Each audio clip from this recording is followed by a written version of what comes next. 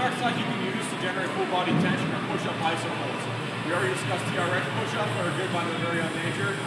This is more of a closed chain exercise. Push-up iso hold, he's going to demonstrate. Into a push-up position.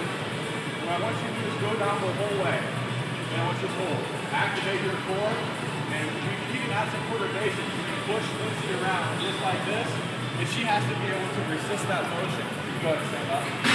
That's a great way to activate the core once again, get the upper muscles in the back going, and ensure that you hold um, a lot of full body tension during your bench press exercise.